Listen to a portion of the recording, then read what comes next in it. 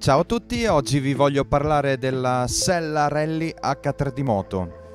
Questa azienda modifica la sella originale della moto con uh, una spugna più soffice e una copertina sella che è caratterizzata dalla tasca porta documenti, porta tabella, tabella dei controlli orari, una parte inferiore leggermente imbottita per i trasferimenti più lunghi o le zone dove si arriva a velocità più alte quindi il trasferimento di peso nella parte posteriore e, mm, con i rilievi per mantenere ottenere un po' più di aderenza e nella parte posteriore abbiamo un ricamo in rilievo H3D che impreziosisce il tutto.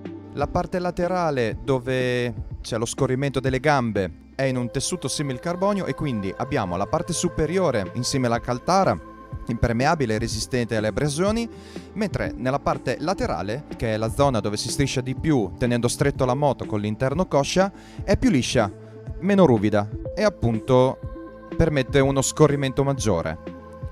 Ho scelto di modificare la mia sella originale KTM per un motivo che appunto dopo diversi chilometri a sedere mi ritrovo con il culo ridotto come quello di un macaco.